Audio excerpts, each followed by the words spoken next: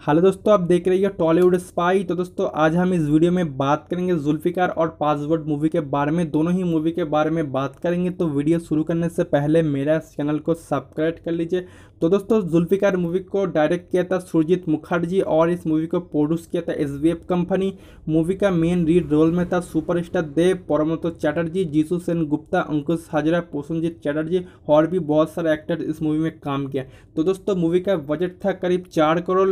तो दोस्तों, इस मूवी का क्लास हुआ था पाँच मूवी के साथ। मूवी ने पाँच मूवी के साथ क्लास होने के बावजूद मूवी ने फिफ्टी लाख का कलेक्शन किया था, जो कि बम्पर कलेक्शन था। अब बात करेंगे दोस्तों, इस मूवी का टोटल वर्ल्ड वाइड कलेक्शन था। तो मूवी ने अपने टोटल वर्ल्ड वाइड में करीब नौ करोड़ का कलेक्शन किया था, जो कि वर्ल्ड टाइम ब्लॉकबस्टर साबित हुआ था बॉक्स ऑफ़िस पर। अब बात करेंगे पासवर्ड मूवी के बारे में। तो दोस्तों पासवर्ड मूवी को बहुत ही बड़ा स्केल पर बनाई जा रही है। इस मूवी को ज़्यादा स्क्रीन काउंट अगर ज़्यादा शो टाइम नहीं मिला तो मूवी के लिए बहुत बुरा प्रॉब्लम हो सकता है। अब बात करेंगे बॉलीवुड का मूवी वॉर तो दोस्तों वॉर मूवी ऋतिक रोशन और टाइगर श्रफ का पहली बार स्क्रीन शेयर करेगा। उसके साथ इस मूवी का क्लास भी होने वाला।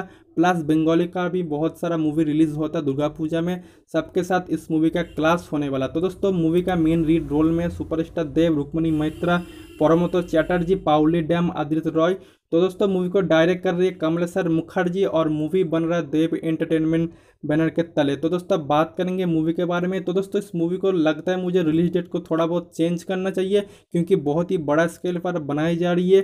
तो दोस्तों, अब आपको क्या लगता है मूवी अपने आने वाला टाइम पे क्या जुल्फिकार मूवी का कलेक्शन को ब्रेक कर पाएगा या फिर नहीं? आपका क्या है राय और आपको क्या है कहना? कमेंट सेक्शन में जाके ज़रूर बताइए। अगर वीडियो अच्छा लगा तो लाइक शेयर कमेंट ज़रूर कीजिए।